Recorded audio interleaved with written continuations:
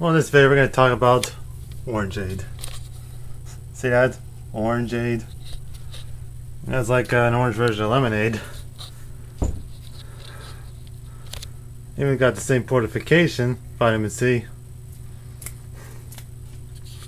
This is from a company called Arizona. This is a tea company. I didn't make tea products and all that. I figure this is how much it costed. 99 cents. Mm. Only has say 10% juice and 25% vitamin C. Mm. So it's got vitamins in it and all that shit. And I figured if you're the uh, washing, I was like washing laundry as I'm doing this video. This looks like a good quality item. I got like figuring at store like same store I saw the uh, lime juice in. I saw this being sold there too.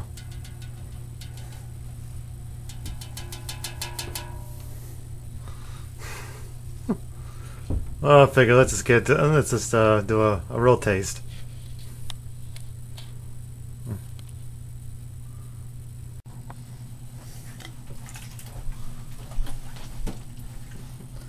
This looks like good quality. This might look like good quality juice.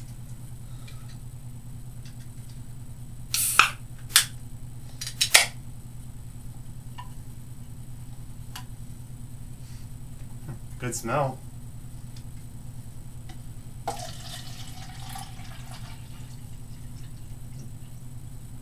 Typical orangeade is something you won't find everywhere.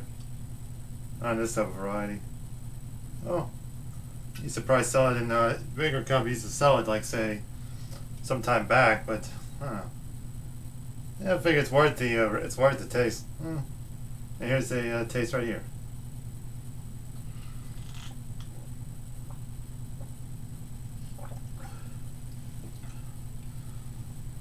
It's very good taste.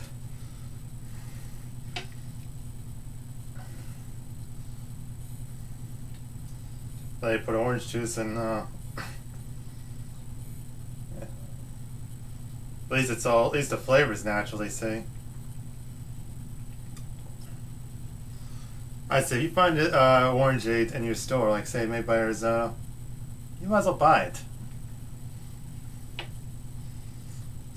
I would recommend it. Yeah, I figure it looks like a good tasting product here, so uh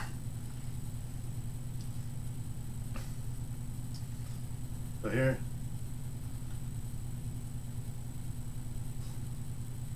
Yeah, do ever, and figure here's to many more videos.